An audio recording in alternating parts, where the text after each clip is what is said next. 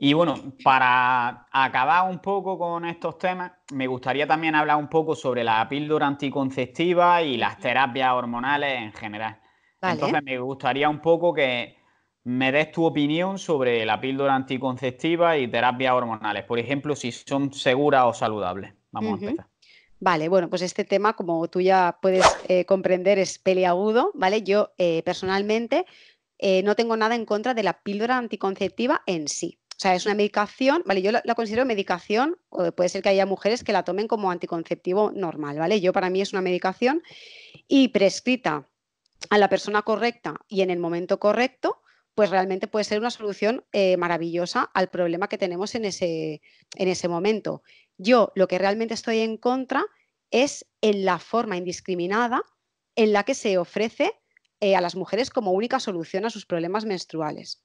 ¿Vale? O sea, yo creo que el problema es que se da mm, para todo, ¿vale? Y no, esta solución eh, no es para todo, ¿vale? Porque muchos problemas tienen una causa subyacente.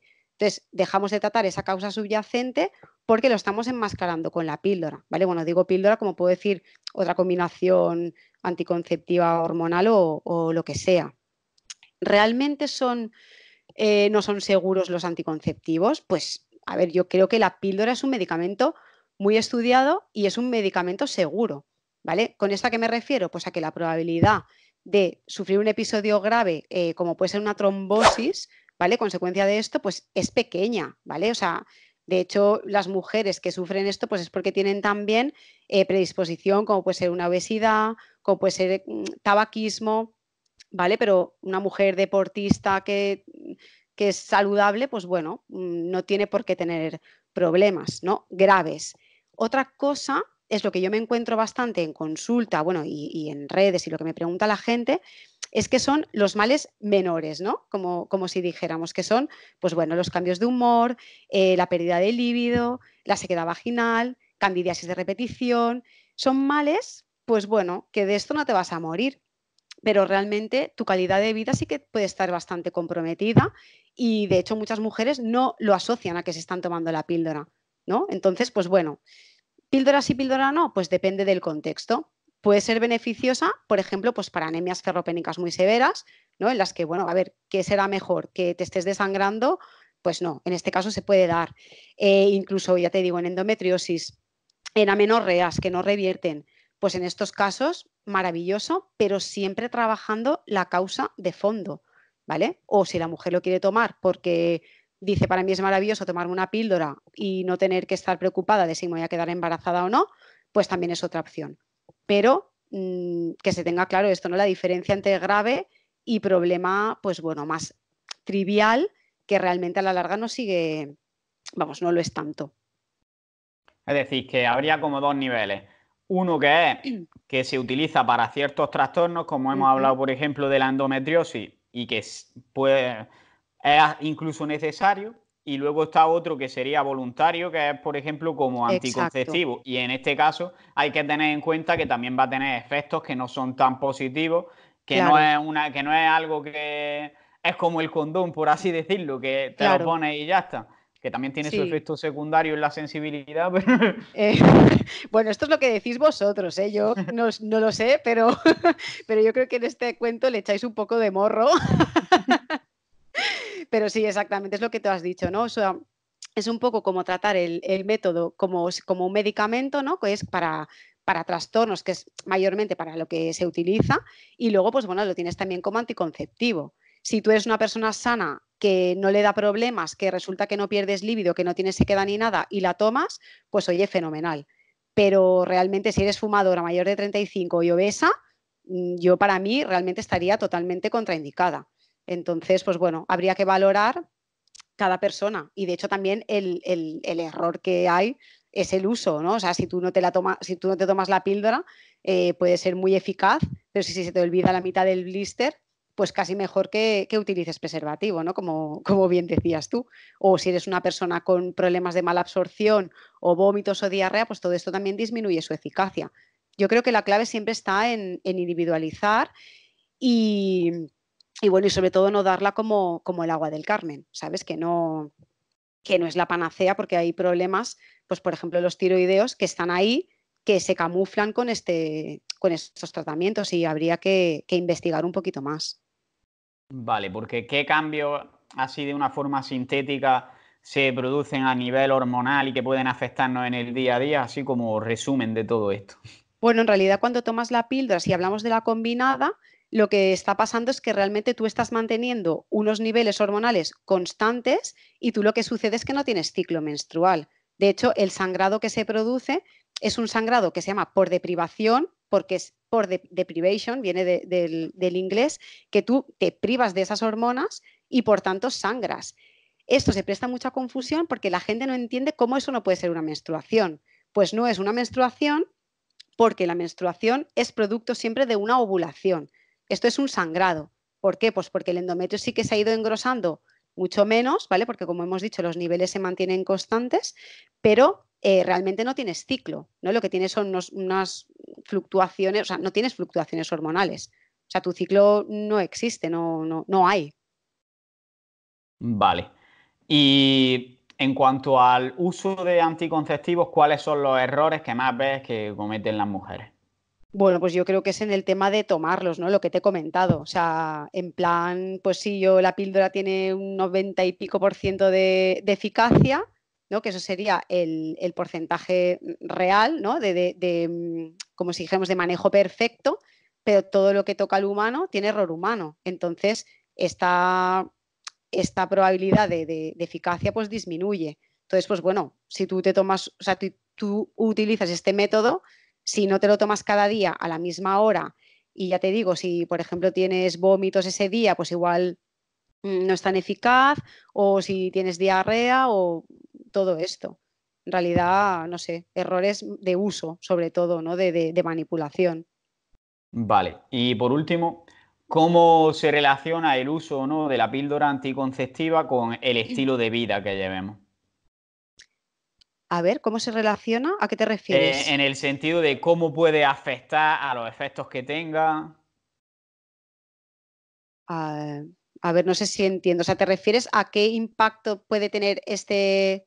Bueno, ya te digo, o sea, depende de, mm, de las características de cada persona, ¿no? O sea, eh, también depende de qué tipo de anticonceptivo estamos, estamos hablando. Yo hablo de la combinada, que es la más la más frecuente, ¿vale? La que más se, utiliza, pero eh, es que no sé, no, sé lo que me has preguntado. Ahora mismo se me ha ido la castaña. A ver, era más bien si, si tus hábitos pueden afectar a que tenga más o menos efectos secundarios, por así decirlo. Vale, ahora sí que te he entendido. Bueno, claro, sí, como todo, ¿no? O sea, en realidad aquí lo que pasa es que hay una manipulación del eje. Entonces, tus hábitos, pues si eres una persona deportista si te alimentas bien, eh, vas a tener menos consecuencias, ¿no? Porque, por ejemplo, el tomar la píldora anticonceptiva también puede hacer que tengas eh, mayor eh, niveles de colesterol. Entonces, si eres deportista, pues estos niveles van a estar más regulados y si eres una persona pues, que se alimenta mal, vas a tener más consecuencias asociadas. ¿Vale? No sé, no, es que no entendía lo que me habías preguntado, perdona. Vale, vale. Sí, claro, un estilo de vida saludable es para todo bien, o sea, ya sea la tomes píldora, exacto, o no, la, o no la tomes. Vale. Bueno, yo creo que hemos tratado ya bastantes temas, pero ¿hay algo que te gustaría decir que no te haya preguntado yo específicamente? Pues no sé, la verdad es que hemos tratado un montón de temas y bueno, lo único recalcar eso, ¿no? Que, el ciclo, pues que vaya un poquito más allá de la reproducción y que si una mujer, pues bueno, eh, que, se, que se preocupe un poquito de entender, pues de entender cómo funciona, porque en realidad la, la información que te proporciona es muy valiosa y que es una herramienta de autoconocimiento muy, muy recomendable. Vale. Eh, en un podcast anterior me dijeron además que sería interesante que pregunte a los invitados cómo aplican todo lo que se ha hablado en la entrevista en su día a día. Entonces va a ser la primera que va a tener esta pregunta y cómo lo aplican. ¿Cómo aplico a mi día a día? Pues bueno, yo es que, claro, soy un poco friki de todo esto, ¿no? O sea, yo por la mañana me levanto, me tomo la temperatura, me apunto y tengo, bueno, lo que se llama mi, mi mi rueda menstrual, donde yo pues me registro eh, cada día pues mis emociones, porque esto también me, pues bueno, me ayuda a poder, a poder ser consciente ¿no? de, lo que realmente estoy diciendo. O sea, no puedo divulgar de esto si yo pues en mí misma no lo he, ¿no? ¿no? No lo estoy aplicando. Pues intento, ya te digo, llevar una alimentación saludable, basada en lo que tú dices, ¿no? En alimentos. Eh, yo por la mañana me levanto y lo primero que hago es irme al gimnasio. ¿Por qué? Porque es cuestión de prioridades. Y luego, pues ya te digo, me hago mi registro menstrual, intento el estrés, pues lo gestiono como puedo, ¿no? La ansiedad en su momento, pues me ayudó mucho a priorizar, ¿no? las cosas. Y, ya te digo, yo a las 10 estoy durmiendo.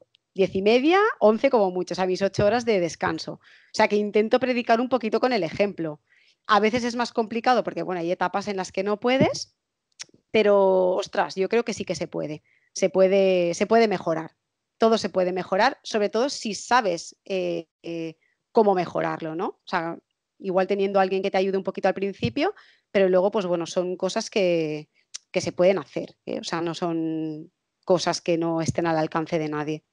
Claro, lo que pasa también que hay que tener claras cuáles son las prioridades, ya no solo a, nivel de que tú digas, para mí mi salud es prioritaria, sino a nivel de que digas, voy a preferir dormir una hora más antes que ver otro capítulo en Netflix. Claro. Bueno, eso es, yo también hago un poco, ¿no? El, decir, si yo sé que realmente el sueño es tan importante, lo voy a priorizar porque yo sé lo que implica, ¿no? No tener un buen descanso. Hay muchas mujeres que, bueno, acuden a mí y yo lo primero que les digo, pero es que te duermes a las 12 de la noche con la pantalla del móvil en la cara. O sea, esto es una disrupción eh, de tu reloj biológico. O sea, esta tontería, ¿no? Eh, simplemente haciendo el apagón tecnológico en plan de a partir de las 8 no tenemos móviles, eh, puedes mejorar. Entonces, claro, si tú no sabes dónde estás fallando, pues tampoco lo tienes tan, tan fácil, pero bueno, para eso estamos los profesionales. Claro, para eso estamos aquí divulgando. Exactamente. Y ahora, la pregunta clásica.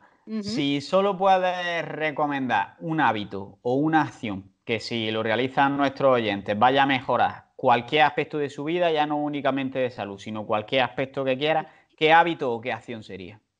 Vale, pues mira, yo, eh, si me dejas elegir, tendría dos, ¿vale? Porque relacionado con la salud, el movimiento. O sea, hay que moverse, hay que incorporar el ejercicio físico, sí o sí, es un antiinflamatorio, es la superpastilla, es maravilloso. Y fuera de la salud, yo he descubierto, ¿vale? Más tirando por el tema de la salud mental, el agradecimiento y el estar presentes. El estar presentes es la clave. O sea, eh, yo, por ejemplo, mi proceso de ansiedad era un exceso de futuro constante. Siempre estoy en el mañana, en el mañana, en el pasado, en el año que viene, en cinco años. O sea, yo ya me iba más allá, estaba ya en el ataúd casi. Y el estar presente es que es maravilloso. O sea, es algo que parece simple, pero es muy complicado. Y el agradecimiento. Tenemos un montón de cosas que agradecer y realmente eh, ese esfuerzo tiene implicaciones en la salud mental muy, muy, muy bestias. Así que esto sería lo que yo recomendaría. Ejercicio y agradecimiento y, estar presente. Sin duda, por lo que hablábamos antes, sobre todo, por, porque cómo las cosas que te pasen, cómo te las tomas, va a afectar a tu nivel de estrés y al final eso afecta también a tu salud, afecta a tu felicidad. Entonces, si tú eres agradecido, eres más consciente de, lo bueno, porque en general tendemos a fijarnos más en lo malo. Me parece un consejo muy bueno.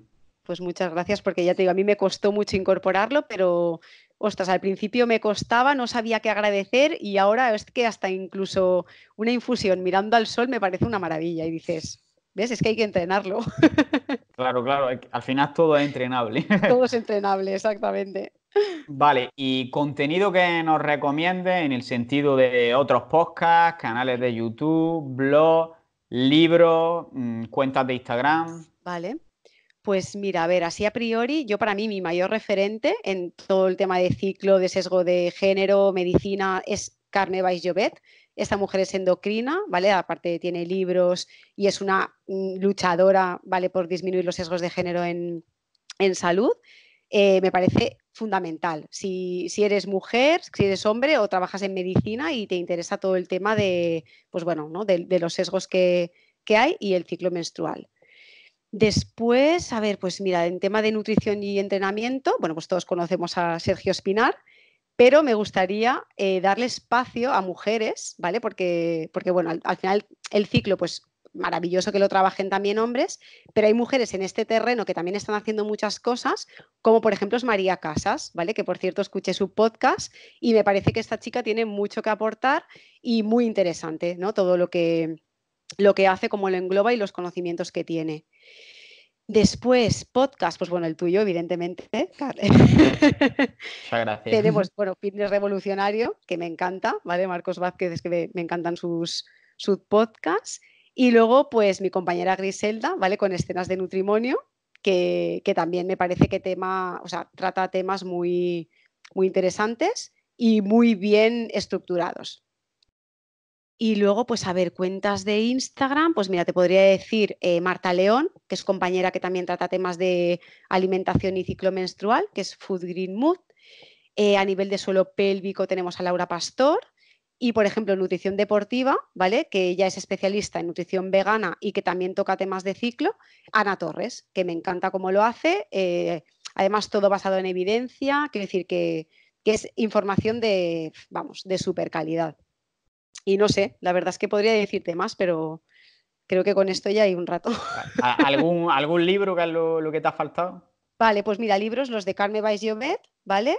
Eh, y por ejemplo, uno facilito que yo recomiendo mucho a las chicas que se quieren iniciar en el tema de ciclo para mejorarlo y para entenderlo, es el libro de Lara Bryden, ¿vale? Que es cómo mejorar tu ciclo menstrual, y el de Ana Salvía, que es un poquito más facilito, ¿vale? Que es viaje al ciclo menstrual, ¿vale? Que esto también es pues bueno, un poco la toma de contacto. Luego ya si quieres profundizar más, pues bueno, yo ya me iría a los tratados directamente de ginecología, pero, pero esto ya es, el, es un salto demasiado grande para, para esto. Vale. Creo que hay contenido ya para que sigan profundizando un sí, tiempo. hay mucho, hay mucho. Cuanto más sabes, pues menos sabes, que digo yo. O sea que. Es así, ¿eh? Cuanto más sabes y más ganas tienes de aprender. Es horrible, exactamente. Y ya por último, un poco la promoción, así que cuéntanos cuáles son tus proyectos, objetivos a corto, medio y largo plazo y dónde podemos seguirte, encontrarte, contratarte, lo que tú quieras. Vale, pues bueno, esto la verdad es que yo, mira, mi, mi, mayor meta ahora mismo es disfrutar del camino, ¿vale? Porque al principio me agobié un montón con esto de ser emprendedora y toda la leche.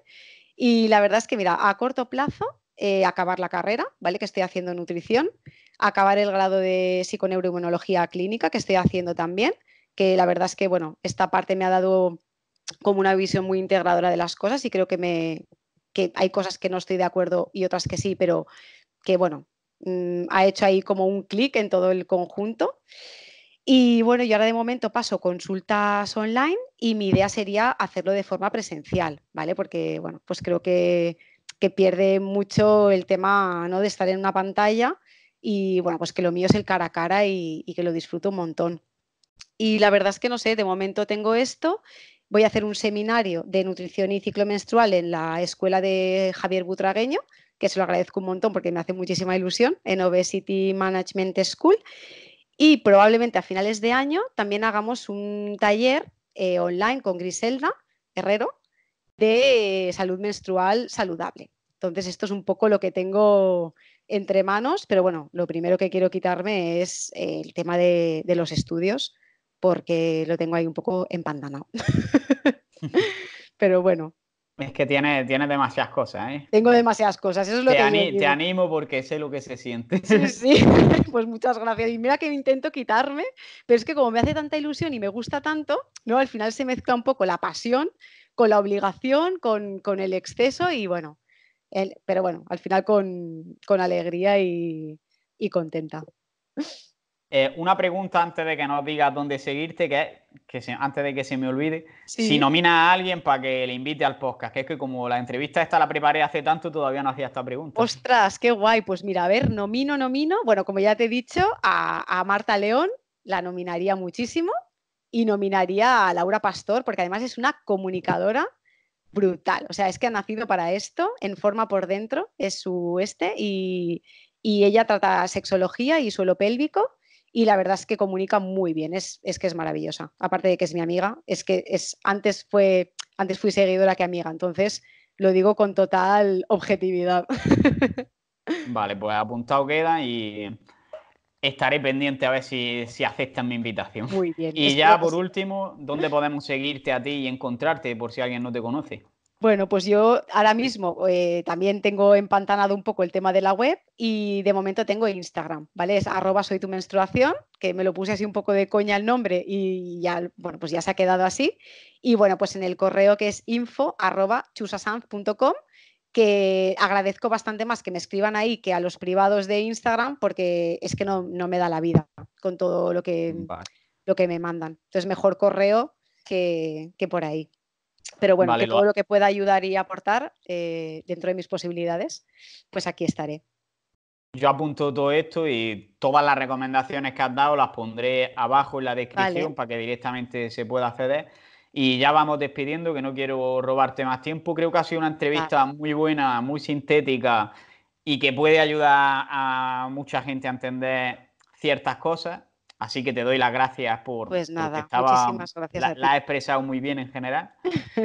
Y nada, vamos despidiendo, que estás invitada cuando quieras a volver al podcast. Pues Carlos, muchísimas gracias por invitarme al podcast. Me hace muchísima ilusión poder hablar de estos temas, que lleguen a gente, que lleguen a profesionales, que lleguen a donde tengan que llegar, pero que, por lo menos se traten y se, para bien o para mal, que se hable. Porque la salud de la mujer eh, tiene que cambiar, porque esto no, no puede ser. Así que gracias a ti por ofrecerme este espacio y, y la oportunidad de comunicar todo esto pues sigue haciendo ese trabajo que seguro que, va cambiando. de todos, sé que esto no se hace solo, es todo, toda la comunidad estamos ahí a Ahí estamos. pues, pues, nada, vamos despidiendo. Entonces, muchas gracias, un saludo y a, seguir creciendo.